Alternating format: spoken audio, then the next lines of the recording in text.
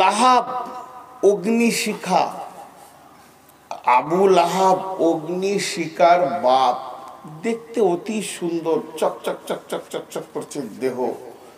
তাকালেই মানুষ ওর দিকে তাকিয়েই থাকছে, কিন্তু চরিত্রটা ছিল নোংরা। এত নোংরা ছিল, শেষ পর্যন্ত ওর কাছে কেউ যায়নি, মরলো, গা ঘা হয়ে। তোর লাশটাকে তুলে কেউ কাফন দাফন করবে এরকম লোক পায়নি। এরকম লাঠি করে খুঁচে খুঁচে নিয়ে যে গর্তে ভরা হয়েছে। এর নাম লাহাব। তো চরিত্রগুলো সব থেকে দামি জিনিস। চরিত্র থাকে জীবের নিচে। একটা মানুষকে রাগিয়ে দেন, ন্যাংটা হয়ে যাবে। সঙ্গে সঙ্গে ন্যাংটা হয়ে যাবে। অনর্গল খিস্তি করবে, অনর্গল। জি। বড় বড় শিক্ষিত মানুষকে দেখেছি আমি, মূর্খদের কথা বাদ দেন। মাস্টারকেও দেখেছি, আলেমকেও দেখেছি, হাফেজকেও দেখেছি।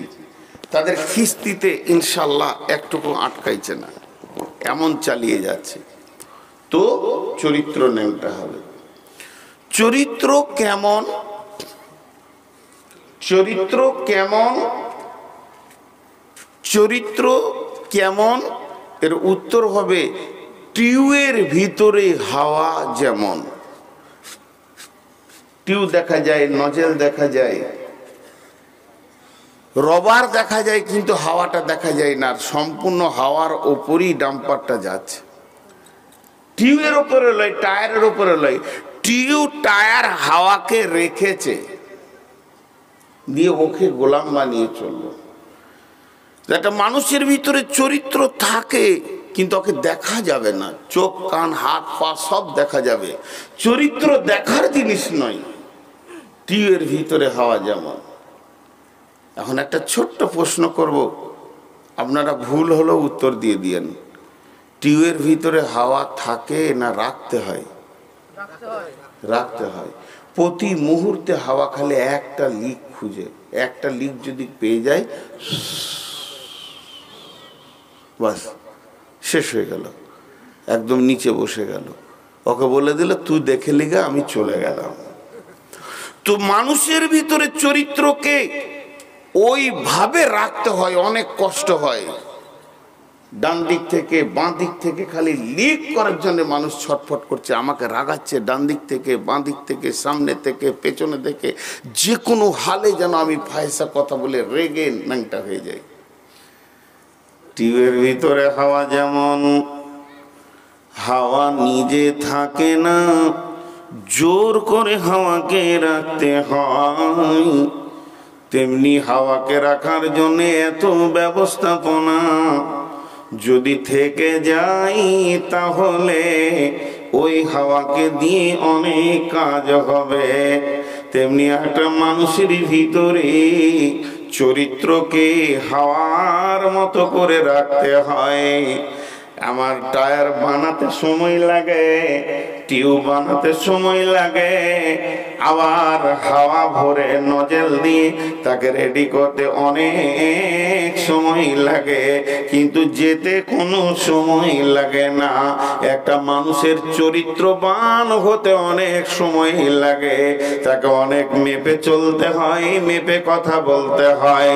সমাজে নিজেকে সুন্দর মানুষ বানাতে গেলে অনেক অনেক ধৈর্যের বিষয় আছে। কিন্তু সত্তর বছর ধরে চরিত্র বানানো যায়। চরিত্র যেতে সত্তর সেকেন্ড লাগে না। আমি নূর মোহাম্মদ আপনাদের কাছে ভালো। আমি নূর মোহাম্মদ আপনাদের কাছে বড় মৌলবী। আমি নূর মোহাম্মদ আপনাদের কাছে মুফাসির আল্লাহ আমাকে বাংলাদেশ, ভারত অনেকটা জায়গা দিয়ে দিয়েছে, দাপিয়ে ঘুরছি।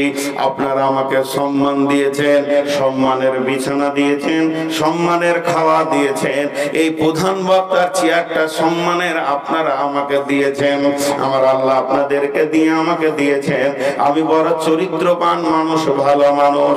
কিন্তু যদি একবার কালকে শুনেলেন, নূর মোহাম্মদ অমুকের মেয়ের কাপড় ধরে টেনেছে, কিংবা সুদের কারবারে গোপনে জড়িত আছে, কিংবা গোপন সূত্রে জানি সে গাঁজা মাঝে মাঝে খায়, একটি লিক যদি আপনারা পেয়ে যান যান এ চেয়ার থাকবে না, এ সম্মান থাকবে না।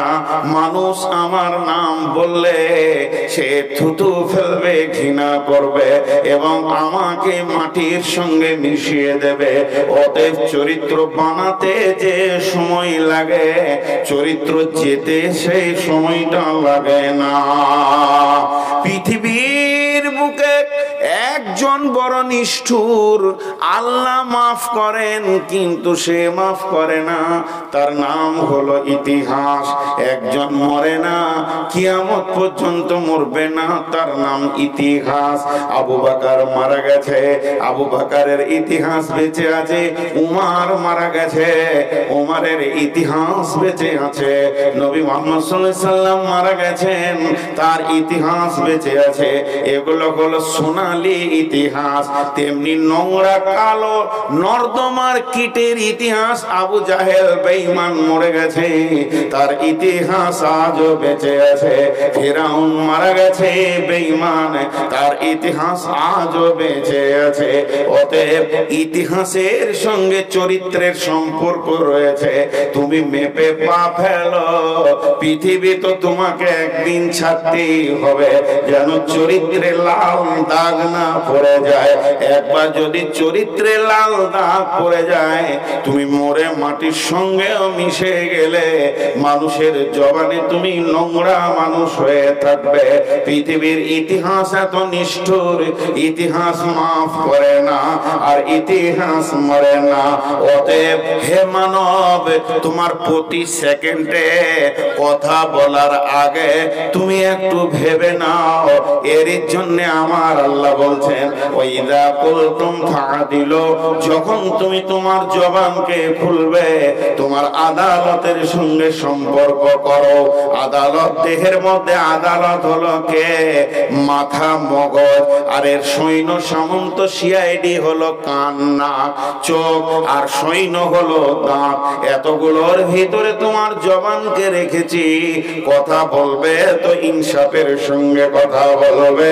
আদালত ঠিক রাখবে নচে তোমার চরিত্রে নোংরা দাগ পড়ে যাবে। একটি বার যদি নোংরা দাগ পড়ে যায়, সারা পৃথিবীর ডাস্টার নিয়ে সমস্ত বোর্ডকে সাফ করা যাবে। কিন্তু চরিত্রের দাগ সাফ করার আগ পর্যন্ত ডাস্টার পৃথিবীতে উঠেনি। হে মানব, তুমি অতি সাবধানে হাঁটবি।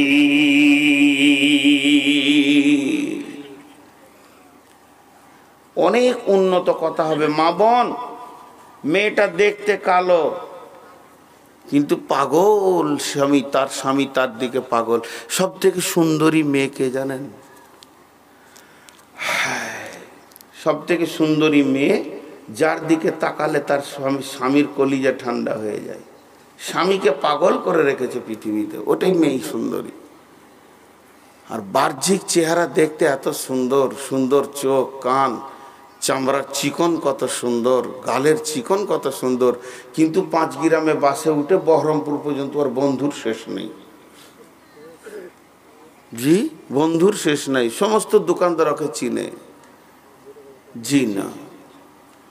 জি না, ওকে শালপাতার মতো লোক ব্যবহার করবে কিন্তু বৌমা বানাবে না। আমি এটা দেখতে কালো, কিন্তু আল্লাহর সঙ্গে সম্পর্ক আছে। চরিত্রে যে কত মূল্য, খালি চরিত্র শব্দটা নিয়ে বলতে থাকলে অনেক সময় লাগবে। এখন আমি যেটা আপনাদের হাতে ধরেছি, এইটার দিকে একবার তাকান। এটা হলো মহাসত্য। শুধু সত্য নেই মহাসত্য। সত্যের আকবার, সিদ্দিকে আকবার। এর ওপরে আর সত্য বলে কিছু নাই। আল্লাহর কালাম মহাসত্য। একবার তাকান আপনারা। আমি জিজ্ঞেস করব, এটা কি? আপনারা বলবেন মহাসত্য এখনকার মতো এইটা বলবেন। জি। এই জিনিসটা আল্লাহ তাবার একবার তাল্লাহ জিব্রাইলের মারফতে আমাদেরকে দিয়ে পাঠিয়েছেন রসুল্লাহ সাল্লাহ সাল্লামের কাছে জমা হয়ে আমরা পেয়েছি। সকলে যার দিলে এর প্রেম আছে, যিনি আল্লাহর কালামকে ভালোবাসেন, হৃদয় দিয়ে, তিনার জীব কিন্তু কথা বলবে, বন্ধ থাকবে না। এটা কি বললাম? সকলে বলেন, কি বললাম? মহাসত্য। এবার বলেন, এই মহাসত্যটাকে বাহন কাকে বানানো হয়েছে? যাকে বানানো হয়েছে, তার নাম হলো ফেরেস্তার মধ্যে জিব্রাইল আমিন, মানুষের মধ্যে নবী মোহাম্মদুর রাসূলুল্লাহ সাল্লাল্লাহু আলাইহি ওয়াসাল্লাম। বিশ্ব নবী যখন মেরাজে গেলেন মেরাজের দৃশ্য দেখতে দেখতে এক সময় জিব্রাইলকে দেখছে। জিব্রাইল তো সঙ্গী রয়েছেন, কিন্তু একটা সময় জিব্রাইলকে দেখছে একটা ঘরের কোণে জড়সড় হয়ে ছিঁড়া কম্বল গায়ে দিয়ে থর থর থর করে কাঁপছি। এই এই এই! তোর ভয় আছে? হ্যাঁ? আস্তে করে আসবি সুসুর করে বসবি, ভয়ে ভয়ে কথা বলবি। তোকে তো মনে হচ্ছে ডন, আমাকে মারবি নাকি? ভয় লাগছে তো। হ্যাঁ? বেহাদব ছেলে। এদিকে তাকান। জিব্রাহিম আমিন তত্তর তত্তর করে কাঁপছেন, ছিঁড়া কম্বলটা গায়ে দিয়ে। বিশ্বনবী বললেন, জিব্রাইল, তোমার অবস্থা কেন এমন? জিব্রাইল উত্তরে বলছেন, নবীজি গ মহাসত্যটা আল্লাহ আমাকে মাধ্যম দিয়ে আপনার কাছে পাঠিয়েছেন। আমার এখন জাহান্নাম দেখে ভয় হচ্ছে। না জানি, আমি মহাসত্যটা যেমন আল্লাহ দিয়েছেন, তেমন তেমন আপনার কাছে পৌঁছাতে পেরেছি কিনা। জি। না, কোথাও কম হয়ে গেছে। না কোথাও কম থেকে গেছে, না কোথাও একটু বাদ পড়ে গেছে। এর জন্য আমি জিব্রাইলকে কেয়ামতের মাঠে জবাব লাগবে কিনা, এই নিয়ে আমি চিন্তিত আছি। ও দয়ার নবী গো বিশ্ব নবীকে এই মহান সত্যটা দেওয়া হলো। আল্লাহর নবী হাজাতুল বিদাতে যেদিন পৃথিবী থেকে বিদায় নেবেন, তার আগে যে বক্তব্যটা রাখলেন, এইভাবে বললেন, হে লোক সকল, তোমরা একবার সাক্ষী থাকো, আমি মহাসত্যটা তোমাদের কাছে পৌঁছাতে পেরেছি কিনা? আমি মহাসত্যটা তোমাদেরকে দিতে পেরেছি কিনা? দয়ার নবী যখন এই কথা বললেন, তখন সমস্ত জনসমুদ্র উপস্থিত উপস্থিতি যারা ছিল তারা বলল আপনি শুধু পৌঁছিয়ে দেননি প্র্যাকটিক্যাল করে দেখিয়ে দিয়েছেন। মা বন্ডে বিশ্বনবীর দিলেও কত ভয়। বিশ্বনবী ওপর দিকে আঙুল তুলে বলছে হ্যাঁ আমার বেটি কুল শুনেন। আল্লাহ শেহাদ আল্লাহ শেহাদ আল্লাহ শেহাদ। আল্লাহ, তুমি সাক্ষী থাকো, তুমি সাক্ষী থাকো। তোমার দেওয়া নিয়ামত আমি এতটুকু বেইমানি করিনি। হয়নি আজকে যে আপনাদের পাঁচ গ্রামের মাদ্রাসা, এই মাদ্রাসাটা কেন? এটা আড্ডা দেওয়ার জন্য নয়, এটা বটুখানা নয়। এখানে গল্প, চায়ের আড্ডা হয় না। এতগুলো কমিটির লোক এবং শিক্ষক, এদের একটাই উদ্দেশ্য, মহাসত্ব প্রজননকে পৌঁছে দিব। এটাই তো এত টাকা, এত খরচা, এত দরাদরি, এত লাফালাফি, এত লোকের দরজায় দরজায় গিয়ে ভিক্ষা। তার একটাই কারণ, মহাসত্যকে প্রজন্মের কাছে পৌঁছে পৌঁছাবো এর জন্য প্রস্তুতি নিয়েছে পাঁচ গ্রামের লোক। এইভাবে নিয়েছে পাথরডাঙ্গা হাজবিডাঙ্গা এইভাবে নিয়েছে ভগল দিঘি, লোহাপুর। সারা বিশ্বে আল্লাহর ফুলের বাগান অনেকগুলি তৈরি হয়ে গেছে। অতএব এটাই হলো রসুলের চরিত্র। আল্লাহ তাবার একবার তালা বললেন আম্মা জান আয়েশাকে প্রশ্ন করা হলো, রে আয়েশা বিশ্ব নবীর চরিত্র সম্পর্কে তুমি বলো। একটা মানুষের চরিত্র নিখুঁত কে বলতে পারবে। প্রথম নম্বরে বলবে স্ত্রী, তারপরে বলবে বাড়ির কাজের লোক। তো বিশ্ব নবীকে প্রশ্ন করা হলো, সাহাবিরা প্রশ্ন করলেন, আল্লাহর নবীর ব্যাপারে কোন চরিত্রের মানুষ? সঙ্গে সঙ্গে আম্মা জানায় উত্তরে বললেন, তোমাদের কি কোরআন পড়ার আছে? তোমরা কি কোরআন পড়তে পারো? মসজিদে নববীতে যে কোরআনটা দেখছ, এর প্র্যাকটিক্যাল জীবিত হাত পাওয়া তাআলা যদি দেখতে চাও, আমার হাবিব নবী মুহাম্মদুর রাসূলুল্লাহ সাল্লাল্লাহু আলাইহি ওয়াসাল্লামকে দেখে নাও। এটা হলো মহান চরিত্রের মানুষ। আল্লাহ তাবারক ওয়া তাআলা গোটা কোরআনটা রাসূলের জন্য ওয়াক করে দিয়েছেন। তাই আল্লাহ তাবার বিশ্ব নবী বলতেন, ফাইন্নামা ওয়াই বুইস্তু তিম্মুমালি মাকারিমাল আখলাক। আমাকে পৃথিবীর মুখে পাঠানো হয়েছে। মহান চরিত্রের মেসেঞ্জার করে আমি আসিনি। আমার পেছনে কেউ গাইড আছে আমাকে পাঠানো হয়েছে।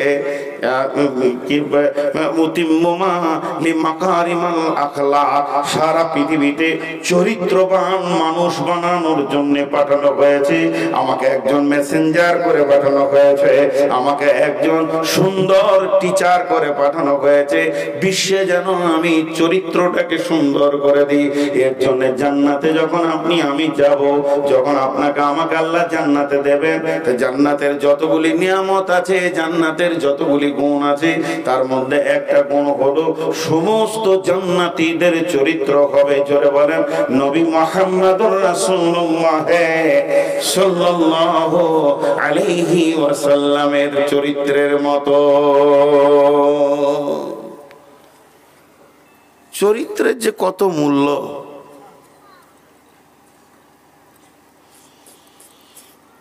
হাজি কটে বারোটাই শেষ তো নাকি? হ্যাঁ আমি কাকে পানি খেতে দিলাম না, আমি নিজে খেয়েছি, রাগ করি না ভাই। আমার জিভ আটকে যাবে না দেখেন, ইমাম বুখারি রহমতুল্লাহ আলহি একটা কথা বলি আলহি রহমার একটা কথা। ছোট বয়সে আল্লাহ তাবারাকালা ওনাকে ইমাম বানিয়েছিলেন। এগুলো ব্রেন লয়, এগুলো আল্লাহর কুদরত। আল্লাহ জাকির দিয়ে দিনের কাজ এই জাকির নায়কের ব্যাপারটা। অনেকে বলে, খুব ব্রেন খুব ব্রেন আমার ওই রকম আকিদা নাই, খুব ব্রেন আমার বিশ্বাস, আল্লাহ ওকে দিয়ে দিনের কাজ নিচ্ছে এগুলো ব্রেন লয়। এত এত রিফারেন্স একটা মানুষের ব্রেনের আইকিউ আছে, একটা হিসাব আছে। কিন্তু না, এই জামানায় আল্লাহ ওকে দিয়ে দিনের কাজ নিচ্ছে এটা একটা পরিষ্কার বোঝা যাচ্ছে যে আল্লাহ কাকে দিয়ে কী কাজ নেবে কোন জামানায়। তো ইমাম বোখারি আলহ রহমা এরকম ছিলেন। তো ছোট ছেলে তো, এই সতেরো, আঠারো বছর বয়সের বাচ্চা। একটা হাদিসের জন্য বেরিয়েছেন উনি, খবর পেয়েছেন, ওই ধুলিয়ানে নদী পার হয়ে একজনের কাছে একটা সেই হাদিস আছে, বেরিয়ে পড়ল। তো বেরিয়ে পড়তে পেরে নদী পার হবে। তো দশ হাজার দেড়হাম ছিল, না স্বর্ণ মুদ্রা ছিল দশ হাজার। খুব ভালো, দামি। তো ওইটাও সাথে করে সফরের পাথেয় হিসেবে নিয়েছে। তো নৌকায় যখন উঠছে তখন এক পকেট মার। পকেট মার এসে বলছে, ওই ছেলে, ওই কোথায় যাবি? হাদিস আনতে। ওখানে রসুলের সেই হাদিস আছে। সত্য ছাড়া জবান দিয়ে মিথ্যা বলছেন না। তোর কাছে ক টাকা আছে? পকেট মার তো সরাসরি জিজ্ঞেস করছি, তোর কাছে ক টাকা আছে? যে দশ হাজার স্বর্ণ মুদ্রা আছে। ঠিক। নৌকায় চেপেছে, নৌকাটা যখন মাঝ নদীতে তখন এই পকেট মার কানতে শুরু করেছে। খুব কাঁদছে চোখে মুখে পানি ঝরছে আর গামছাতে মুছছে আর বলছে, আমার দশ হাজার দেড়হাম হারিয়ে গেছে আমার দশ হাজার দেড়হাম নৌকার মাঝি বলছে, এত বয়স্ক মানুষ, আহা, বেচারা টাকা হারিয়ে গেল। এই কে নিয়েছো গো, কে নিয়েছো? সবারই ব্যাগ কিন্তু সার্চ করব, সবারই ব্যাগ সার্চ করব বলে দিছি। চোর ধরা পড়লে শাস্তি দিব। নৌকা দাঁড় করিয়ে দিয়ে ব্যাগ সার্চিং চলছে। এক ধার থেকে নৌকায় একটা একটা করে লোক ধরছে আর ব্যাগ। ইমাম বখারি আলহ রহমার ব্যাগে হাত ভরা হলো, দেখা হলো, গায়ে দেখা হলো, পোয়া গেল না। বাস, পোয়াই গেল না। তখন মাঝি বলছে, দেখো বাবা, তোমার অন্য কোনো জায়গায় হারিয়েছে নাকি? এখানে তো পাওয়া গেল না। নদী পার হয়ে গেল, এবার হাঁকছে মাঠে মাঠে। তুমি আবার চোরটা গিয়ে বলছে, আরে, তোর দশ হাজার দেরাম কি হলো? দেখেন ইমাম বখের আলে রহমা বলছে, তুমি যখন কাঁদছিলে তখন আমি পানিতে ফেলে দিয়েছি। বলছে, তোর জানে লাগল না? বলছে, টাকাটার থেকে আমার চরিত্রের মূল্য বেশি। ওটা ধরা পড়লে আমাকে চোর সাব্যস্ত করা হতো। আর একবার যদি আমি জীবনে চোর সাব্যস্ত হয়ে যেতাম, আমি রসুলে যে সহি হাদিসটা জমা করছি, একজনাও পড়তো না। চোরের বই কে পড়বি? বলবে কি বলবে না? চোর আল্লাহ তাবারাক বা তাআলা বললেন বিসমিল্লাহির রহমানির রহিম ওয়াদ-দুহা والليل إذا سجى ما ودعك ربك وما قلى وللآخرة خير لك من الأولى ولا سوف يعطيك ربك فترضى দেখেন আল্লাহ দুটা কসম খেলেন এখানে এই যে মহা সত্য এই সত্যটা আল্লাহ যাকে দিয়ে সারা পৃথিবীতে প্রচার করবেন যে হলো সেলসম্যান, আমার আল্লাহ হলেন ম্যানুফ্যাকচারের মালিক। আর এটাকে বিশ্ব জুড়ে তিনি প্রচার করবেন।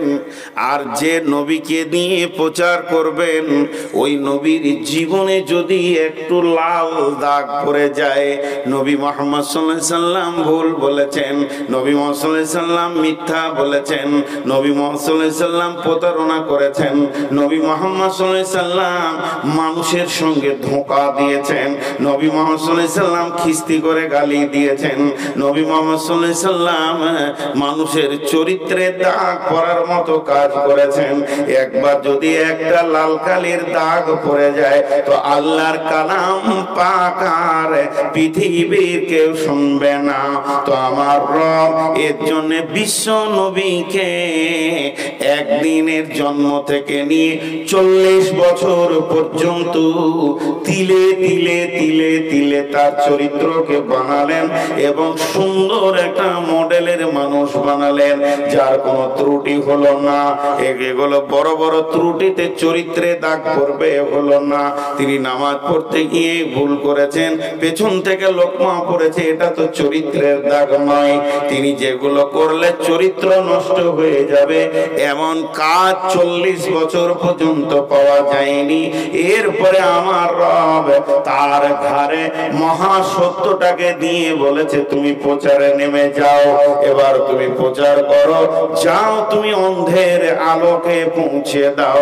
কোন বিরাগে মনুদাসী হীরা গোহার মাঝে, কার বিরহে চোখের পানি ঝরাই সকালে সাঁঝে। ছাড়ল বাড়ি কিসের আশা? বাঁধল বাসা হীরা গোহায় কার বিরহে আকুল আশা অন্তরে তার বাজে। কোন বিরাগী মনুদাসী হীরা গোহার মাঝে। কি সাধনাই মগ্ন হলো? কারবা প্রেমে মন মজিল? কারবা প্রেমের আকুল আশা অন্তরে তার বাজে? কোন বিরাগী মনুদাসী হীরা গোহার মাঝে? হঠাৎ হলো জানা জানি, হঠাৎ হলো জানা জানি, কানা কানি, আসলো প্রিয়র অসীম বাণী। আধার ধরা ওজল হলো কোরআন নূরের তাজে, কোন বিরাগে মনুদাসী হীরা গোহার মাঝে। কিসের বোঝা বহন্তরে, গড়ল তারে যত্ন করে, প্রভু তারে করল বরণ সারা জাহান মাঝে। কোন বিরাগী মনুদাসী হীরা গোহার মাঝে। বিশ্বনবী কাল্লা বানালেন, সুন্দর চরিত্রের বানালেন, মহান চরিত্রের অধিকারী করলেন, তারপরে মহান দায়িত্ব দিলেন। সেই নবীকে আল্লাহ তাবারাকবা তাআলা গোটা সূরা জোহাটা তার নবীকে থেট দিয়েছেন আল্লাহ। এটা আমাদের গ্রুপ লিডারকে থেট দিয়েছেন আল্লাহ। গ্রুপ লিডারকে থেট দেওয়া মানে আমাদেরকে শাসন করা। আমার আল্লাহ গোটা সূরাটায় বিশ্ব নবীকে শাসন করে বলছেন, ওয়াদোহা ওয়াদোহা বলতে উদীয়মান সূর্য। পূর্ব দিকে যখন সূর্যটা ধীরে ধীরে ধীরে ধীরে উঠে, তখন জোহা বলা যাবে না, তখন ফাসাক বলা যাবে কেবল আলো হতে শুরু করেছে। এরপরে যখন উঠবে, প্রখরতা নিয়ে নেবে, তাপ আসতে শুরু করবে। এইটাকে জোহা বলা হয়েছে। যতক্ষণ পর্যন্ত শরীরে সূর্যের তাপ লাগবে না, তাপের এহসাস হবে না, অতক্ষণ পর্যন্ত জোহা বলা যাবে না। আর যখন শরীরে হালকা তাপের এহসাস হয়ে যাবে, সূর্যের ওই টাইমটাকে তোহা বলা হবে। আমার রব ওই টাইমের কসম করে বলছেন, হে আমার নবে, আমি উদীয়মান সূর্যের তাপের কসম করে বলছি। এবার উদীয়মান সূর্য বলতে কি বোঝায়? বিশ্ব নবী বলছেন, এর থেকে কি বোঝানো হয়েছে? এর থেকে বোঝানো হয়েছে, আপনার কিনা উদীয়মান সূর্যের আলো। এটা কি রে বাপ? তাহলে তো আমার আর বায়নি হবে না। কিছু কালেকশন দিয়ে দেন, ছেড়ে দিই। চারিদিক থেকে খুব ডিস্টার্ব চলো, তুমি বিলি করে নাও, আমি বসি খানি হয়ে গেল? নামিয়ে দাও জাল- জালসার শেষে সবাই একটা করে চাট নিয়ে যাবেন। মানুষকে যে এইভাবে আটকে রাখা কত কষ্ট, যে চেয়ারে বকে সে বুঝে। আর তার আল্লাহ বুঝে। পানিটাই বন্ধ করলাম। তো দেখছে পানি যখন বন্ধ হলো, তাহলে এবার আগুনটা লাগাই। এবার এটা বন্ধ করছি, এরপরে কি আছে বাপ? পাকা কলা নিয়ে একটা করে দে, দেখ, হুনু ঝাপা হবে। রাখো এখানে, রাখো।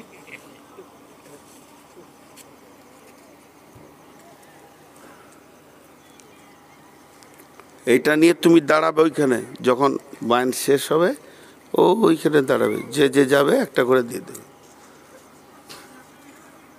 এবার এটা নানা রকম তফসির। মাথাটা কেটে গেল। খুব কষ্ট হয় ভাই, আপনারা রাগ করিয়েন না আমার ওপরে কষ্ট হয়। কি বলছিলাম চলে গেলাম। অদ্দোহা উদীয়মান সূর্য। এবার উদীয়মান সূর্যটাকে সাতখানা তফসির করা হয়েছে। একটা নয়, দুটা নয়, এখন নাম্বার ধরি নাই। যদি নাম্বার ধরতাম তা গোলমাল লেগে যেত যা কারিশমা শুরু হয়েছিল। এক নম্বর একজন বলছেন, উদীয়মান সূর্য বলতে রসুলের চেহারা বলা হয়েছে। জি না, এটা ভুল, এটা জয়ীব। তবে এটা বলা হয়েছে, রসুলের যৌবনকালকে বলা হয়েছে। কারণ তখন রসুল তোর তাজা উদীয়মান চলছে। বিশ্ব নবীকে বলছে, তোমাকে আমি জোহার কসম দিলাম, উদীয়মান সূর্যের কসম দিলাম। হে নবী মোহাম্মদ সাল্লাহ সাল্লাম, তোমার ভিতরে এখন যৌন তরঙ্গ উতল পাতল করছে। খবরদার, তুমি হুঁশিয়ার হয়ে যাও। কেউ বলেছে, জি না, উদীয়মান সূর্য বলতে কোরআনকে বোঝানো হয়েছে। উদীয়মান সূর্য বলতে আর কাউকে বোঝানো হয়েছে। এইভাবে একটা নয়, দুটা নয়, সাতখানা তফসির আনা হয়েছে। অতএব শুনে লাও পূর্ব দিকে যখন সূর্য উঠে, তখন কসম, উদীয়মান সূর্য, উদীয়মান যুবকের কথা বলা হয়েছে। মানুষের চরিত্র তিন বছর, চার বছর, ছ বছর, দশ বছরে নষ্ট হয় না, বারো বছরে নষ্ট হয় না, চোদ্দ বছরও মানুষ নষ্টের দিকে যেতে চায় না। এরপর এখন কেয়ামতের কাছিয়ে গেছে, দিন আয়ু কমে গেছে। এর জন্য চোদ্দ বছরের চরিতার্থের দিকে চলে যাচ্ছে। কিন্তু উদীয়মান সূর্যকে কন্ট্রোল করার কথা কেন আল্লাহর কসম খেলেন উদীয়মান সূর্য। তার মানে সারা বিশ্ব যুবকদেরকে বলছে, হে যুবকের দল, এখন তোমার ভিতরে যেমন সূর্যের তাপ তোমার গায়ে লেগেছে, তেমনি তোমার গায়ে যৌন তরঙ্গ এসে পৌঁছে গেছে। এই অবস্থায় তোমার ব্রেককে তুমি মজবুত করো। যদি তোমার ব্রেক না মজবুত হয়, তাহলে তোমার চরিত্রে যদি একবার লাল দাগ লেগে যায়, তাহলে তুমি সারা জীবনের মতো কলঙ্কিত হয়ে গেলে। যত যুবক আমরা বসে আছি, সব যেন উদীয়মান সূর্য রয়েছে। হে উদীয়মান সূর্যের দল, তোমাদের গায়ে এখন তাপ এসে গেছে। এই তাপটা সূর্যের তাপ নয়, এটা হলো যৌবনের তাপ। ওই আমার বেটির দল, যারা আমার পেটের বেটি, তাদের আমি আব্বা বলছি, এখন তোমরা যুবতীর দল, তোমাদের গায়ে তাপ এসে গেছে। তাপ এসে গেছে মানে এখন তুমি উদীয়মান সূর্য, পৃথিবীকে তুমি আলো দেখাবে, তুমি পৃথিবীতে মা হবে, আর পৃথিবীর বুকে তুমি সুন্দরী আল্লাহ বলি হবে। তবে তোমাকে এখন জিন্দেগিটাকে কন্ট্রোল করতে হবে, অতি ব্রেক করতে হবে। তোমার উদীয়মান দাপন, তোমার উদীয়মান যে দাপটরা রয়েছে, এটা লুচ্চারা চুষার জন্য রেডি হয়ে আছে। পৃথিবীর বুকে হাজার কোটি লুচ্চা রয়েছে। তোমার উদীয়মান তরঙ্গকে ঠান্ডা করার জন্য হে যুবতের দল, এর জন্য আল্লাহ জুহার কসম খেয়েছে। জুহা শব্দের ভিতরে সারা বিশ্বের যুবক যুবতীদেরকে বোঝানো হয়েছে। শুধু এই পর্যন্ত নয়, আমাদের গ্রুপ লিডার নবী মোহাম্মদ সাল্লামকে আল্লাহ তেপ দিয়ে বলেছেন, হে উদীয়মান যুবক, এর জন্য আল্লাহ তাবারাক ওয়া তাআলা জুহার কসম খেয়েছেন। এরপরে দ্বিতীয় কসমটা আল্লাহ বলছেন, ওয়াল্লাইলি ইদা সাজা, ওয়াল্লাইলি ইদা সাজা। এবং চলমান রাতের কসম করে বলছি, মাগরিবটাকে চলমান রাত বলা যাবে না। মাগরিবের কিছুক্ষণ সময় পেরিয়ে যাবে যে এসাটা শুরু হবে। ফজর পর্যন্ত এটা চলমান রাত। চলমান রাতের কেন কসম খেল? আমার আল্লাহ, এই সময় মানুষের চরিত্র, চুরি, ডাকাতি বেঈমানি লুচ্চামি, আর আপনার কিনা যত রকম আছে নোংরামি, চলমান রাতে মানুষ বেশি করে। দেখেন, জুয়ার আড্ডা বসে, মেলা বসে, মেয়ে নাচানো থেকে নিয়ে সমস্ত গান বাজনা রাতের গভীরে হয়। এই জন্য অনেক বড় বড় আলেমদের মত হচ্ছে জালসা দিনে করো রাতে করিও না। রাত হচ্ছে দুষ্টদের জন্য সময়, রাত হচ্ছে চরিত্র নোংরাদের সময়। রাত শয়তানের দাপিয়ে বেড়ায়, আর রাত মানে কিছুই দেখা যাবে না। আর দিন মানে হলো প্রকাশ। এর জন্য ইসলামকে দিন বলে ডাকা হয়েছে।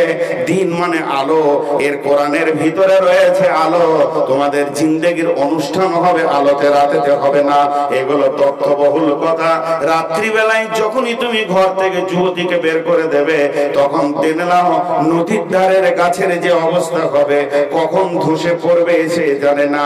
নদীর ধারে যখন বাড়িঘর যেমন ভাঙনে চলে যায়, তেমনি তোমার চরিত্র ভাঙনে কখন চলে যাবে।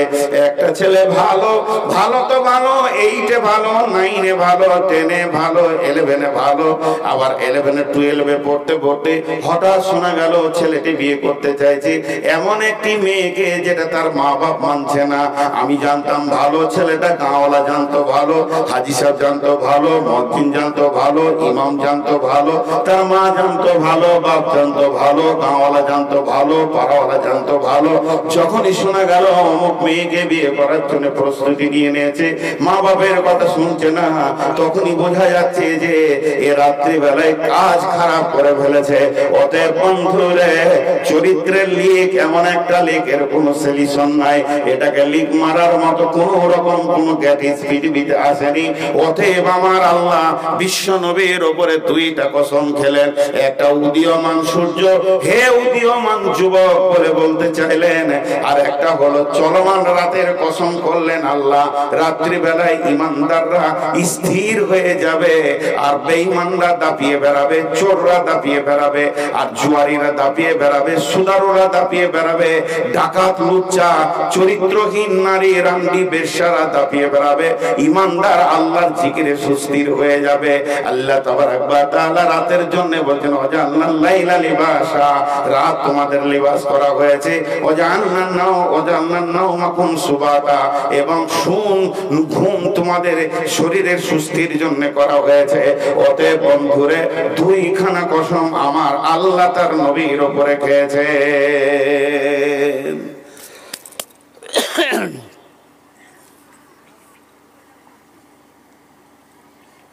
কমিটি কিছুই বলছে না যে কতক্ষণ চালাইতে হবে। খালি চুপ করে বসে আছে। ও, আমার ধৈর্য নেই?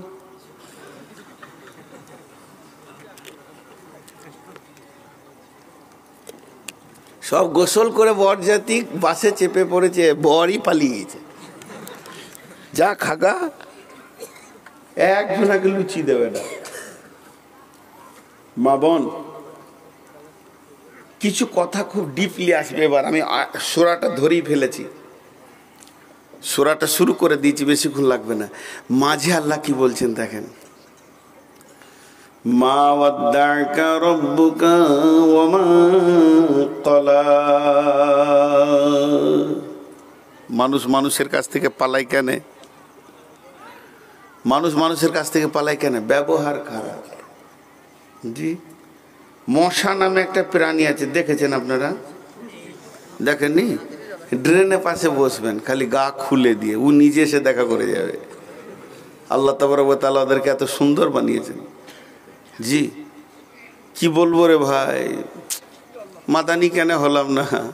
কপালে ঝাঁটা মেরে দিয়ে চাল্লা এমন জায়গায় শুয়ে আছি, তখন থেকে মশাতেই মোলাকাত চালাইছে। খুব খিদমত করেছে মশাতে একটা সেকেন্ড ঘুমোতে দেয়নি।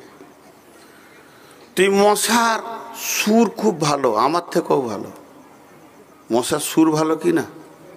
আরে মশার সুর কর্কশ না খুব সুন্দর? সুর ভালো চরিত্র খারাপ। এই জন্যে থাপ্পড় খায়। খায় না? ওকে কেউ ভালোবাসে না থাপ্পড় মারে? কিসের জন্য থাপ্পড় খায়? চরিত্র খারাপ, স্বভাব খারাপ। সুর ভালো, স্বভাব এই জন্য থাপ্পড় খায়। তো একটা জিনিস ভাবেন, আল্লাহ বলছেন সাজা মা ওয়া কলা। এই আয়টার ব্যাপারে সানে নজুল আছে, কেউ বলে সুরা লাইলে, কেউ বলে সুরা দোহা। সানে নজুলটা হলো, বিশ্ব নবীর কয়েকদিন ওহি বন্ধ হয়ে গেছিল। আর কাফের বেমানেরা জিব্রাইল আমিনকে বলতো শৈতান আর রসুলকে বলতো, তোর কাছে যে শৈতানটা আছে, সেটা কই? কয়েকদিন যখন ওহি বন্ধ হয়ে গেল, আল্লাহর নবী অনেক চিন্তিত হয়ে শুয়ে গেলেন। তাহলে কি আল্লাহ আমাকে ছেড়ে দিয়েছে নিশ্চয় আমার ব্যবহারে ত্রুটি হয়েছে। হে ভাই, তুমি অমুকের সাথ ছেড়ে দিলে কেন? আপনি বলবেন, সবই ঠিক আছে, ব্যবহার খারাপ, সবই ঠিক আছে, চরিত্র খারাপ। যখন মানুষের চরিত্র খারাপ ধরা পড়ে, তখন আর একটা মানুষ তার কাছ থেকে পালিয়ে যায়। বিশ্বনবী খাটে শুয়ে শুয়ে চিন্তা করছেন, আমার মহান আল্লাহ যে আমার সঙ্গে জিব্রাইলকে দিয়ে যোগাযোগ রেখেছিল, সেটা কি কারণে ছাড়া গেল? নিশ্চয় আমার চরিত্রে কোথাও দাগ পড়ে গেছে নাকি? এমন সময় আম্মা জানা এসা ঘরটাকে ঝাড়ু দিচ্ছেন, মা, আমার বোন, আমার বেটি, আমার। ঝাড়ু দিতে দিতে নবীজির খাটের তলায় যখন এইভাবে ঝাঁটাটা নিয়ে গেছে, তো একটা মরা কুকুরের বাচ্চা পড়ে আছে। আপনি বলবেন, পচে গেল না, গলে গেল না কেন? এটা তো আল্লাহরই কুদরত। আল্লাহের ভিতরে কিন্তু ইবরাত রেখেছে, জ্ঞান রেখেছেন। আল্লাহ তাকে ওই অবস্থায় রেখেছেন, আল্লাহ পারবেন। ওই যখন ওই কুকুরের বাচ্চাটাকে আম্মা জান ঝাড়ু দিয়ে, ময়লা দিয়ে ছুঁড়ে ফেলে দিলেন, সঙ্গে সঙ্গে জিব্রাহিল আমিন এসে বলছেন, মা কালা নবী, হে, আপনার ওপরে আপনার রব নারাজ হয়ে যায়নি এবং আপনাকেও ছেড়ে দেয়নি। ওই কুকুর থাকার কারণে আমি আসতে পারছিলাম না।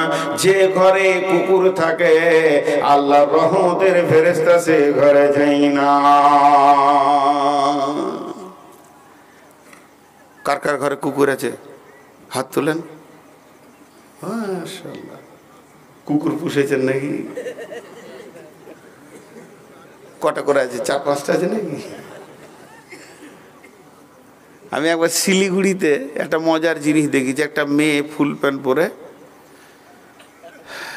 ওই লোহার ঠেলা, দোলনা ট্রেচার ওর উপরে বাচ্চাটাকে শুয়ে দিয়েছে, দিয়ে ঠেলে ঠেলে সকালবেলায় মর্নিং ওয়াক করছে আর কুকুরটাকে কোলে নিয়েছে। আমি মনে মনে ভাবলাম, হায় রে কুকুর রে। যার মায়ের কোল, সে লোহার খাঁচায় শুয়ে রয়েছে আর কুকুরের বাচ্চা কোলে চেপে আছে। তো কুকুরটাকে ফেলে দিল তো জিব্রাইল আমিন এলো। মানুষ মানুষের কাছ থেকে চলে যায় কেন? চরিত্রের দোষে। ভাবতে হবে আমার কোনো ত্রুটি আছে, এত লোক আমার কাছ থেকে চলে গেছে কেন? সমাজ চলে গেছে কেন? আমাকে ভালোবাসছে না কেন? মানুষ যখন মুখ খুলে দেবে, তার চরিত্রটা তখনই ভেসে উঠবে। দেখতে সুন্দর সব কিছু ঠিক আছে, মুখের ভাষাতে মানুষ সরে চলে যাবে। এর নাম হলো চরিত্র। এরপরে চলেন আল্লাহ তাবারাকালা তার নবীকে একটা উপদেশ দিয়েছেন। এই উপদেশটা আমরা সকলেই মেনে নিব। এটা হলো সব থেকে বড় রিপিয়ার বড় সলিউশন বড় গ্যাটিজ যদি চরিত্র ঠিক রাখতে হয়, এই জায়গাটা ঠিক রাখতে হবে সেটা কি? উলা।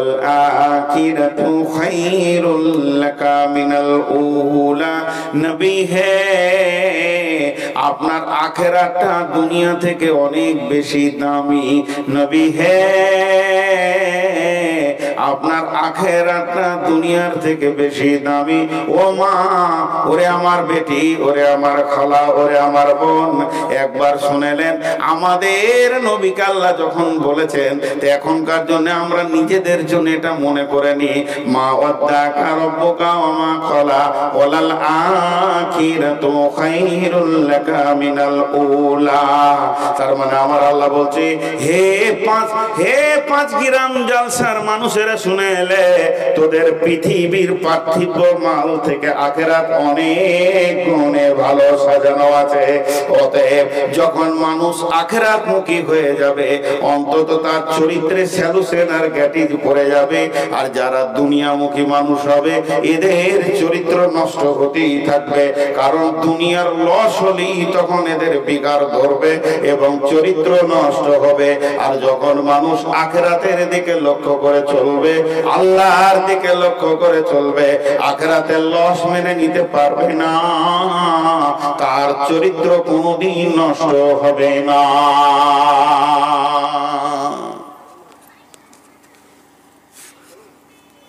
এবার একটা মজার কথা শোনাবো, কৌতূহল। বিশ্ব নবীরও আমাদের মতো মানুষ দিল ছিল, দিল।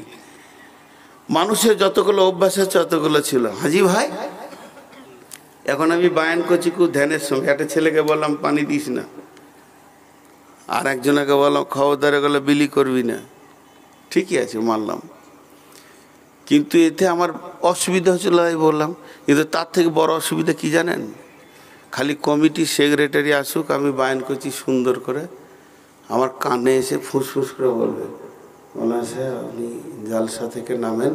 আপনাকে একটা মজার জিনিস দিব, এমন জিনিস দিব আপনি খুশি হয়ে যাবেন। আর জালসার লাইন ঠিক থাকবে না। কি দিবে কি দিবে কি দিবে কি দিবে? বিজ্ঞান নিয়ে নেবে এটা মানুষের অভ্যাস। আর এইটাই আল্লাহ তার রসুলকে বলেছিলেন, রে বাবা, কই এই ছেলে? শোন কোট এগোটাকে নিয়ে যা।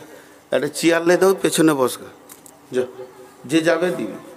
তুমি ওখানে বসে থাকো বাবা। যাও। দরকার আছে প্রচারের। ওই যেখানে পানিগুলো আছে, ওখানে বসে থাকবে। একটা চেয়ার নিয়ে যাও। যেন দেখতে পাই যে তোমার কাছে ওটা আছে। আর যারা যাবেন, একটা করে নিয়ে যাবেন। চেয়ার নিয়ে যাও শোনা ওখানে চেয়ার আছে আচ্ছা আচ্ছা এবার দেখেন আপনারা আমার দিকে খেয়াল করেন। কাকে এত মশা ধরেছে রে? না, আমি যাব, মশা কটা মেরে দিয়ে আসব স্পিডে করব। হ্যাঁ? মশার নাম বলাতে পটাশ পটাশ করে মেরিয়ে গেছে আজীব ব্যাপার। এ খেপা লড়ি দিস না। বলে ভাগ্য মনে পড়াইলি, তখন তো এই খালি বাজ পড়িয়ে গেছে পেছনে। আজীব ব্যাপার। আচ্ছা আপনাদের বিরক্ত লাগছে নাকি?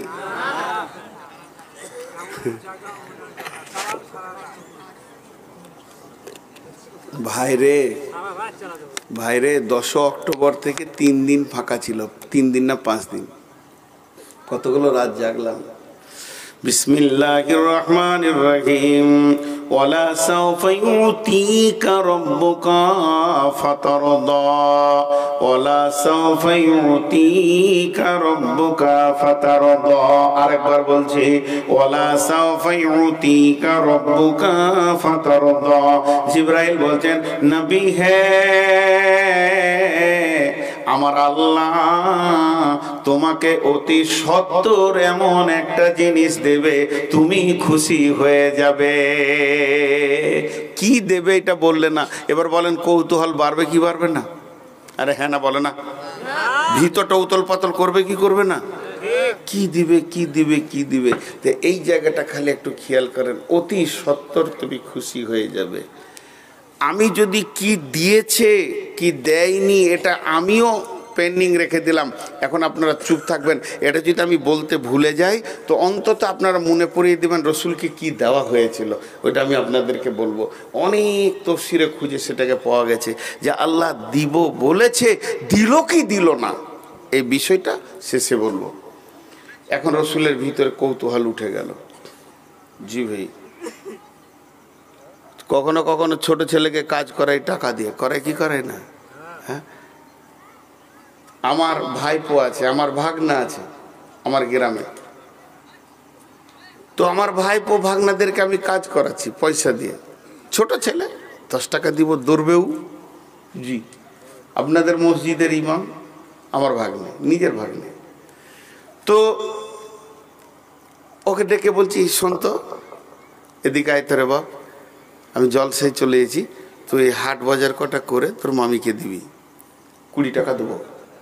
ছোট ছেলে, কুড়ি টাকা দিব, পঞ্চাশ টাকা দিব। তো ও তখন মনে মনে বলছে, দিবে কি দিবে না? মানে টাকাটা আগে দেখ, হাট হোক আর না হোক। কথাটা বুঝতে পেরেছেন কিনা ছোট ছেলে হলে যা হয়। তাকিয়ে আছে। এখনও মুখ দিয়ে বলছে না যে টাকাটা আগে দেন। ওর অঙ্গভঙ্গিটা বলছে, আগে আমারটা হোক, তারপরে যা হবে হবে। তোর মুখ পানে তাকে আমি আইডিয়া করলাম যে খুব গোলমাল হচ্ছে মনে হয়েছে তখন ওকে আমি শাসন করছি। কি বলে? তোকে আমি জালসার দিন একশো টাকা দিয়েছি ঈদের দিন পঞ্চাশ টাকা দিয়েছি, আবার কোরবানির দিন তুই একশো টাকা নিলি, তোর বোনের বিয়ের দিন পঞ্চাশ টাকা দিয়েছি, অমুক দিনে তোকে এক বিশ টাকা দিয়েছি, তখন এটা আর বলছি না, তখন ওর মনটা শান্তি হলো তা তো। মামা যখন এতগুলো দিয়েছে আজকে ওই কাজটা করে দিলে আমাকে বিশ পঞ্চাশ টাকা দেবে, মারলো দৌড় ওই কাজটা করতে। তো আমার আল্লাহ যখনই বললেন, ওলা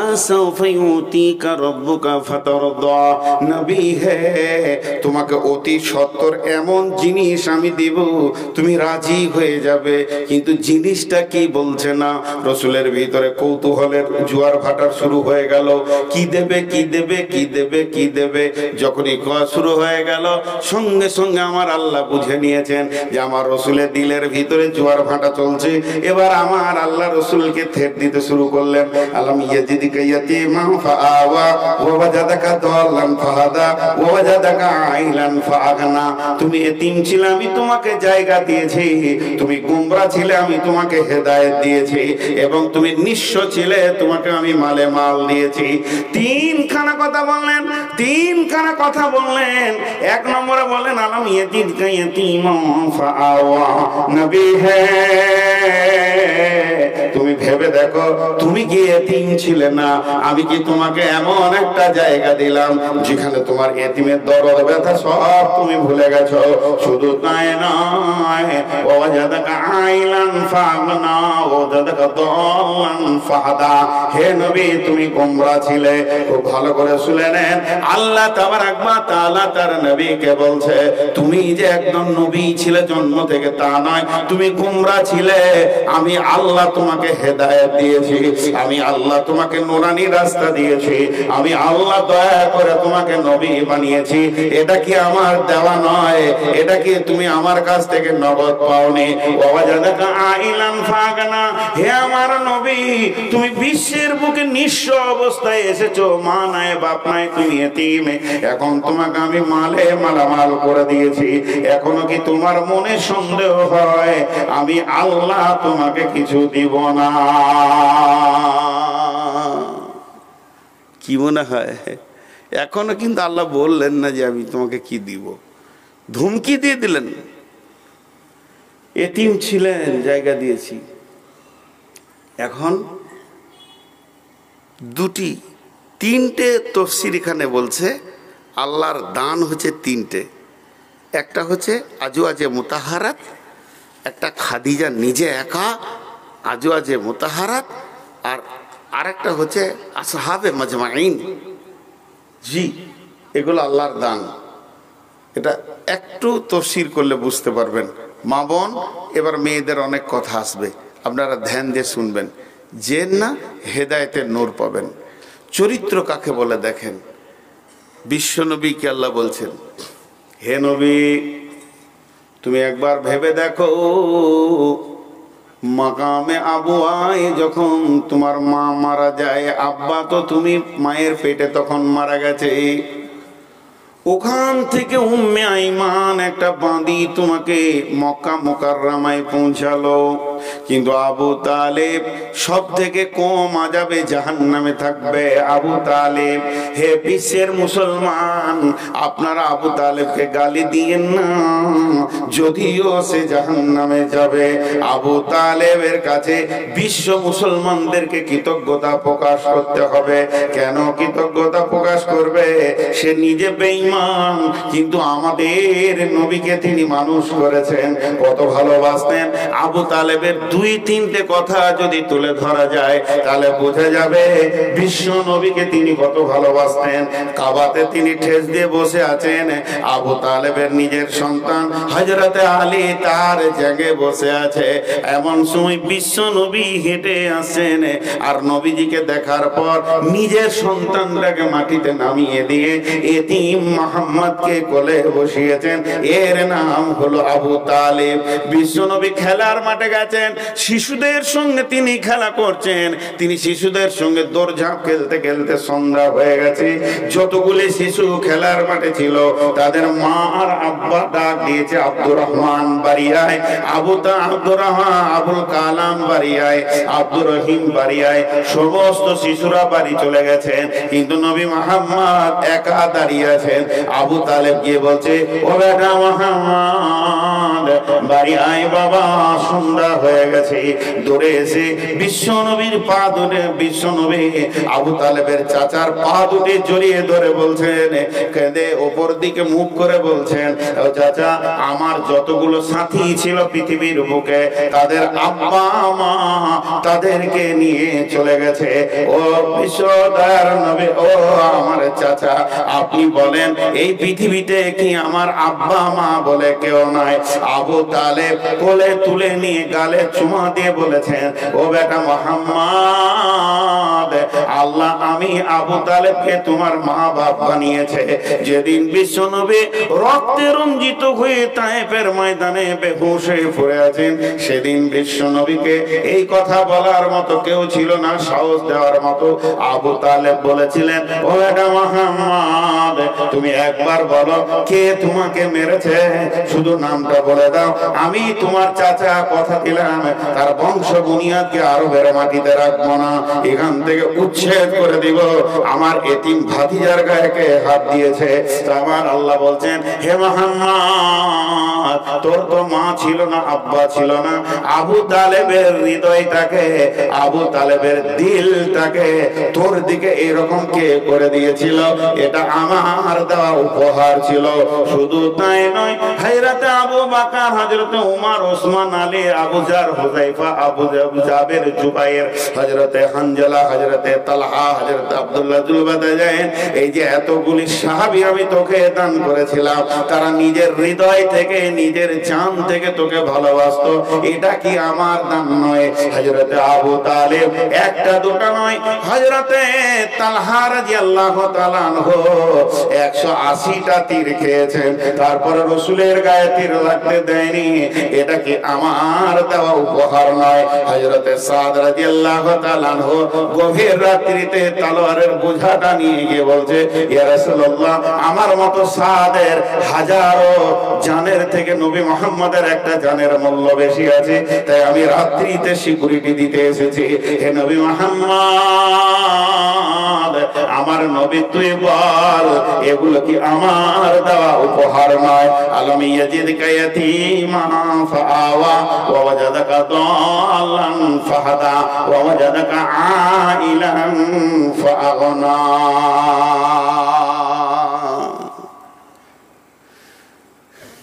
যদি কারও ঘর জ্বর মনে ইচ্ছা হচ্ছে, আমি নূর মোহাম্মদ বলব দশটা মিনিট টাইম দেন। দুটি ঘটনা আপনারা শুনে যান। চরিত্র কাকে বলে? মা বোন বেটি, একবার ধ্যান দিয়ে শুনেন। আবু তালেব রসুলকে কত ভালোবাসতেন। খালি যার সঙ্গে দেখা হচ্ছে আবু তালেব, খালি ওই যে একটা একটা কাজ দেখে দাও গো, একটা বউ দেখে দাও। একটা জিনিস আপনাদের কাছে জমা রেখেছি, মনে আছে? কি বলেন তো? রসুল কি পেয়েছে, কি পায়নি সেটা বলব। আল্লাহ যে দুবো বলেছে মালটা বলব। এখানে যে কি তত্ত্ববহুল কথা আল্লাহ বলেছেন? তো আবু তালিব যার সঙ্গে দেখা হয়, আমাদের যেমন ছেলে মেয়ে একটু বড় হলেই বন্ধু বান্ধবের সঙ্গে দেখা হলে, ভাই, একটা মেয়ে দেখে দেন, ভাই, একটা ছেলে দেখে দেন, মেয়েটার বিয়ে দিব। ঠিক আবু তালেব যার সঙ্গে দেখা হয়, একটা কাজ টাজ নাই গো, আমার ভাতিজাটাকে মানুষ করলাম কষ্ট করে, একটা কাজ আর একটা মেয়ে হলেই হয়ে যাবে, বাস। আমার, আমি দায় খালাস। বিয়েটা দিয়ে দিব আর কাজ টাজ করে খাবে। এবার ও আর আল্লাহ আর দুনিয়া চালাবে। একজন বলছে, হুম, কাজ আছে। একটা মহিলার কাছে কাজ আছে। মহিলাটার নাম হচ্ছে খাদিজা। বড় সম্ভ্রান্ত ফ্যামিলির মেয়ে। ওর একটা স্বামী তালাক দিয়েছে, একটা স্বামী মারা গেছে। আর ওর ব্যবসা, ওর ও মহাজান ওর কাছ থেকে আরবের অনেক ছেলে ব্যবসা করে। যা লাভ হয় একটা ভাগাভাগি। তো আপনি যেতে পারেন, আপনি যেতে পারেন। আবু তাহলে বলছে, এ বেটা, মোহাম্মদ রে, চো বেটা, একটা কাজের খবর পেয়েছি, দেখি তোকে কোনো রকম ওখানে কাজে লাগানো যায় কিনা। সিধা খাদিজার বাড়ি গেল। জহুরির মুখে শোনা বুঝতে পেরেছেন? জহুরির মুখে যদি কেউ তামা সোনা নিয়ে যদি বলে যে, ভাই, এই তামাটা দেখো, তো তো বলবে তামা লয় রে খেপা সোনা। খাদিজা কে ছিলেন? হাফিজা ছিলেন। কিসের? কোরআনের লাই তৌরাতের তৌরাতের হাফিজা ছিলেন এবং তর্জমা তফসির সহ ছিল। আর ওর সামনে নবী মোহাম্মদ পড়ে গেছে, একদম যুবক। বলেন, ও কি বুঝবে?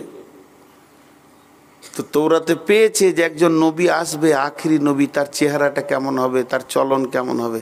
খাদিজা ওর দিকে খালি তাকিয়ে আছে, এইটাই নাকি রে? আবু তাহলে গিয়ে বলছে, বা খাতিয়া শুনলাম নাকি তুমি বিজনিসি ছেলে পিলেদের কাজে লাগাও। ওই যে ছেলেটা দেখছ, এটা আমার ভাতিজা। ও যখন মায়ের পেটে ছিল, বাপ মরে গেছে। আর যেদিন ও ছয় বছরের ছেলে মা মারা গেছে, তারপর থেকে আমি ওকে তিলে তিলে মানুষ করলাম রে মা। এখন আমার ঘরে পড়ে আছে, আল্লাহ আমাকে দিয়েছে এই বোঝা বহন করতে। যদি তোমার কাছে কোনো কাজ থাকে, আমার ভাতিয়াকে কাজ দিতে পারো। ছেলে বড় সৎ, মিথ্যা কথা বলে না, কারও টাকা মেরে দেবে না। এতটুকু তোমাকে আমি বলছি। খাদিজা বলছে, জি চাচা, কাজের ব্যবস্থা আছে। আর ব্যবস্থা আছে বলতে বলতে অন্য মনস্ক হচ্ছি। অন্য মনস্ক বুঝেন? আরে কথা বলে না। ধরেন এইখানে দুটো মহিলা কথা বলছে পর্দার ওই পারে। আর আপনার সঙ্গে আমি কথা বলছি। হ্যাঁ জি জি, কালকে ফারাক্কায় জালসা আছে। হ্যাঁ ওখানে ফারাক্কাতে জালসা করে পরশু দিন হোসেননগর যাব। নিয়ে আপনি জিজ্ঞেস করছেন, বাড়ি কবে যাবেন? না, এখন বিহারই আছি। কথাটা মেলছে? তার মানে কানটা ওই দিকে গিয়েছে আমার। ওই দিকে কথা চলছে কি না? এটাকে অন্য মনস্ক বলে।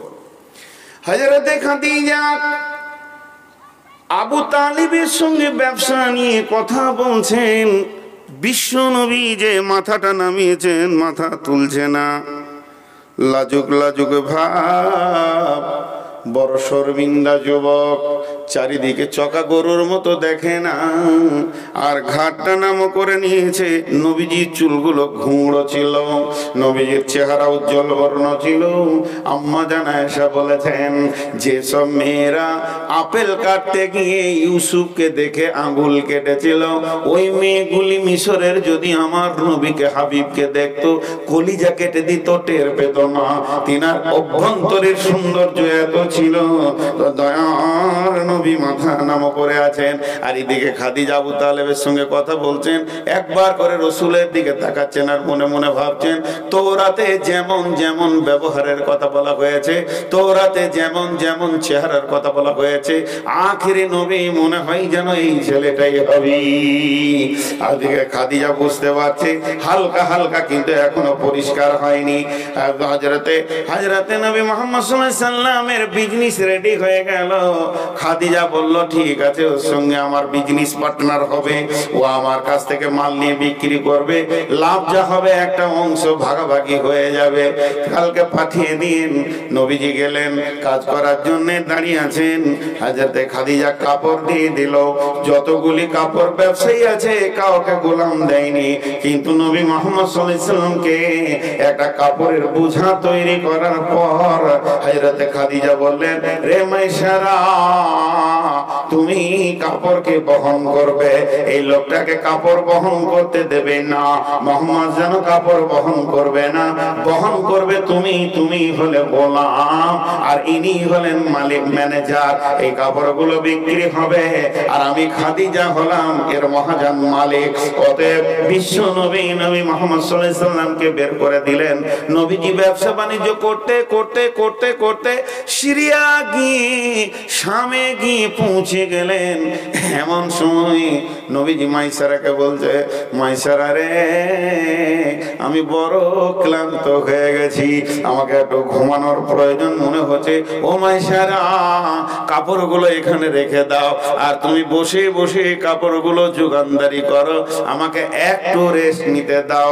দয়ারে নবী যে শুয়ে গেলেন শুয়ে গেলেন তো ঘুমিয়ে গেলেন। এমন ঘুম দিয়েছে, নবীজি ঘুমিয়ে গেছে। এমন সময় একজন পাতেরি একজন পোপ পোপ বলতে খ্রিস্টানদের সব থেকে বড় আলেম, নাসারাদের সব থেকে বড় মুফাসির সে ওই রাস্তা দিয়ে তার দল, বল, শিষ্যদেরকে নিয়ে হেঁটে যাচ্ছেন। হেঁটে যেতে যেতে যেতে যেতে বিশ্বনবীকে দেখে থুমকে দাঁড়িয়ে গেলেন। যে দাঁড়িয়ে গেলেন, আস্তে আস্তে গিয়ে বলছে, ও বাচ্চা, তোমার নাম কি? বলে, আমার নাম হলো মাইসারা তো লো- যে ছেলেটি, যুবকটি শুয়ে আছে নাম কি? বলে যুবকের নাম হচ্ছে মোহাম্মদ সাল্লাম তখন সাল্লাম বলেনি কিন্তু আমি বলছি, মোহাম্মদ সাল্লাম এর বাড়ি কোথা বাড়ি হলো মক্কা। আব্বার নাম কি না আব্দুল্লাহ, মা কি না আমিনা, বংশের নাম কি না কোরাইশ, কোথা থেকে এসছো? তোমরা বলে মক্কা থেকে এসেছি। বিজনিস আমাদেরকে খাদিজা দিয়ে পাঠিয়েছে। ওই পপ তখন বলছে, ও যুবক, মাইশারা, তোমার সঙ্গীকে তুমি উঠাও, আর উঠিয়ে এখান থেকে সিরিয়া ছেড়ে নিজের দেশে চলে যাও। এই ছেলেটি আখেরি পেগম্বার হবে। ইনি নবী মোহাম্মদ সাল্লাম পৃথিবীতে চলে এসেছে। ওর চেহারা বলছে, তবে ও যখন নবুয়তি পাবে, আমি বেঁচে থাকব কিনা জানি না। আমি যদি সেই অবস্থায় বেঁচে থাকি, তাহলে ওর হাতে হাত দিয়ে আমি ইসলাম কবুল করে নিব। তবে ওকে বাঁচি উঠাও, আর ঘুমাতে দিও না। মক্কায় ফিরে চলে যাও। মাইসারা নবীজিকে উঠালেন। কাপড়ের বাঁট নিয়ে একদম মক্কার দিকে আসতে শুরু করেছেন। এদিকে খাদিজা রসুলকে বের করে দিয়ে এর মনের ভিতরে কৌতূহল বেড়ে গেছে। খাদিজা মনে মনে ভাবছে, না জানি কেউ মেরে দিল নাকি? কারণ ওনার জীবনের দুশ্মন তো অনেক বেশি হবে। এরকম ভাবছেন খাদিজা, বারবার রাস্তার দিকে তাকিয়ে আছেন, বিরহ দহনে ভুগছেন। এমন সময় দেখতে মাইসারা আর নবী মোহাম্মদ সাল্লাম দুইজন মরুভূমির প্রান্তে মক্কার ঢুকছে। খাদিজার দিলটা বড় হলো। হিসাব নিকাশ বুঝিয়ে দিল। অন্য ব্যবসায়ীদের থেকে অনেক গুণ বেশি তিনি লাভ করেছেন। বিশ্ব নবী এক নম্বর ভালো ব্যবসায়ী ছিলেন। তিনি এত লাভ করলেন। লভ্য অংশটা নিয়ে গিয়ে চাচার কাছে দুই হাতে এমনি করে দিচ্ছেন, চাচা যে তোমার এতিম ভাতিজা ইনকাম করতে শিখে নিয়েছে। আবু তালেব খুশিতে কেঁদে ফেললেন। চোখের পানি ভাতিজা রে, কত সুন্দর কাজ তুমি করেছ। খালি এবার একটা বউ যদি পেয়ে যায় তাহলে আমি আল- আল্লাহ আমাকে আবু তালেবকে রেহাই দিয়ে দেবে। ম্যাডাম মোহাম্মদ বাস বহু সুন্দর কাজ করেছ বাবা, তুমি ইনকাম করতে পেরেছ। আবু তালেবের কলিজাটা বড় হলো, আনন্দে আত্মহারা হয়ে গেলেন। এরপরে নবী বসে আছেন, এমন সময় মাইসারাকে নিয়ে খাদিজা বলছে মাইসারা রে যে লোকটার সঙ্গে তোকে আমি পাঠিয়েছিলাম ব্যবসাতে একটি বার বল, লোকটার ব্যাপারে কিছু কথা আমাকে বল, কোন চরিত্রের লোক? মাইসারা তখন আমি একটা কথা বলেছি, বাড়ির কাজের লোক বলে দেবে মানুষ কেমন?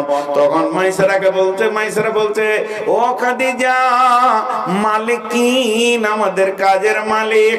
শোনো, জীবনে বহু লোক দেখেছি, এত সৎ চরিত্রের দামি লোক জীবনে দেখি নেই দুই নম্বরে হলো আমি তিনটে কথা বলব, তিনটে কথা গুনে বলব। এর মতো দামি লোক আমি জীবনে দেখিনি। দুই নম্বর হলো, যখন আমরা স্বামী ছিলাম রেস্ট নেওয়ার জন্য, বিশ্ব নবী মোহাম্মদ সাল্লাম ঘুমিয়ে গেলেন। আর আমি বসেছিলাম, একজন পোপ এসে বলল, তাড়াতাড়ি উঠিয়ে মক্কায় নিয়ে চলে যাও। লোকটা আখেরি নবী হবে। খাদিজার যেটা ডাউট ছিল, সেটা ক্লিয়ার হয়ে গেল।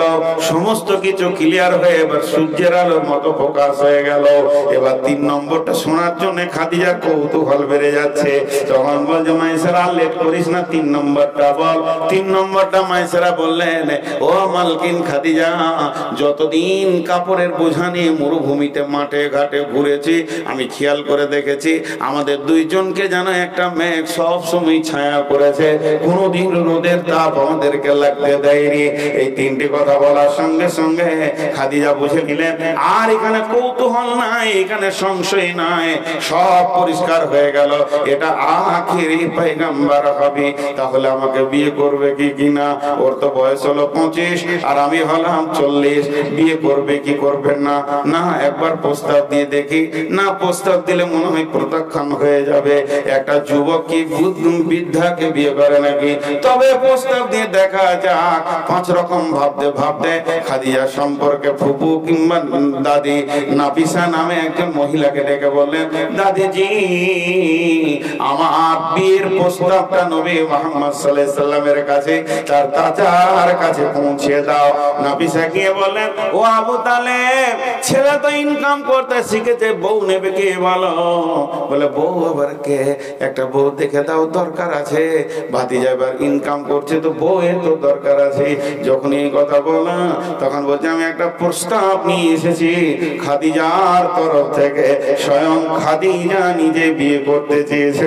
আবু তালেব তো বলছে, আর খুশি সহ্য হচ্ছে না। মনে হচ্ছে যেন খুশিতে, আনন্দতে চিৎকার হরে কি করে কিছুই তাল পেছি না। এত বড়, একটা বড় ঘর থেকে প্রস্তাব এসেছে। তখন আমি মনে মনে ভাবলাম তখন আমি মনে মনে ভাবলাম যে আমি এটা একবার ভাদিয়াকে জিজ্ঞেস করে নি। বিশ্ব নবীকে ডাকলেন, বেটা মাহাম্মদ। হাসবেন না। মেন্টাল রুগী দেখে যদি হাসেন, আর না জানি আল্লাহ কালকে আপনাকে ওই কাজটা করাবে। খবরদার না। পাগলকে ভালোবাসলে আল্লাহ ভালোবাসবে। আপনাদের জানা নাই হাদিস। আপনারা আমার দিকে ধ্যান দেন। ও তো ওর কাজ করছে, মেন্টাল রুগী। রুগী সহ্য হবে। আপনাদের বিরক্ত লাগছে নাকি? এই প্রস্তাব পেয়ে গেল। বিশ্বনবীকে এবার জিজ্ঞেস করবে যুবক, দয়ার নবীকে ডাকলেন আবু তালে বেটা মোহাম্মদ। মোহাম্মদ সাল্লাহ সাল্লাম আসলেন, খাটে বসলেন, মাথা নাম করে আছে। কোনোদিন নবীজি মাথা উঁচু করে মুরব্বীদের সামনে বিয়াদুবি করতেন না। যেই নবীজি এরকম বসে আছেন, মা আমার বোন আমার প্রস্তাবটা দিয়ে দিলেন আবু তালেব। আবু তালেব বললেন বেটা রে তোর বিয়ের প্রস্তাব এসেছে বাবা। স্বয়ং খাদিজা তোকে বিয়ে করতে চেয়েছে। বিশ্বনবী হ্যাঁ বললেন না। বিশ্বনবী না বললেন না। তবে ইতিহাস বলছে, বিশ্বনবী একটু মুচকে হাসলেন। আর যখনই নবীজি মুচকে হাসলেন, আল্লাহর নবীর চাচা নাফিসাকে বললেন, যাও অমুক তারিখে খাদিজাকে রেডি হতে বলো। কয়েকটা লোক গিয়ে আমি আমার ভাতিজার বিয়ে দিয়ে দিব। দিন প্রস্তাব হয়ে গেল। দিন রেডি হয়ে গেল।